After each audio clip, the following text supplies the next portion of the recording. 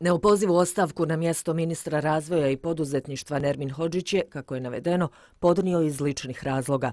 Hođić je bio kandidat Bosansko-Hercegovačke patriotske stranke, čiji predsjednik kluba zastupnika Mirsa Celimović nije želio novinarima davati izjave o toj temi no nakon istupa opozicijonih zastupnika koji su tvrdili da je ostavka na izvjestan način iznuđena, Selimović se za govornicom osvrnuo na ministarski rad Nermina Hođića. Nije se plašio upustiti u koštac sa bilo kakvim problemima koji su se ticali privrednog razvoja, poduzetništva i svega onoga što, se, što je u okviru svojih poslova radio. Uvezao je kompletan privredni sektor i pamtit ćemo sigurno njegove rad i njegove svakodnevnice i svakodnevne ideje u cilju boljeg privrednog ambijenta.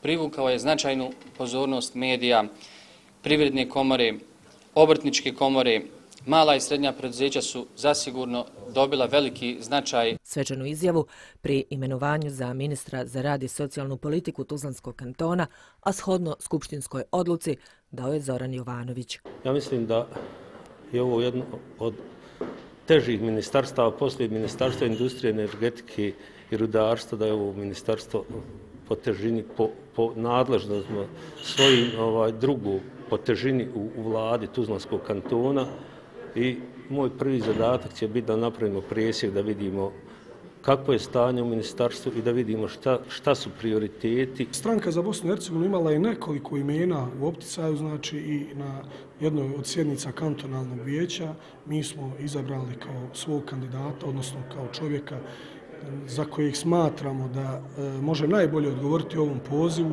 odnosno ovom ministarstvu i u ovoj situaciji u kojoj se nalazi ministarstvo. Mi smo znači jednoglasno donijeli zaključak i izabrali Zorana Jovanovića i kandidovali ga, kandidovali ga na tu funkciju, znači dali prijedlog premijeru.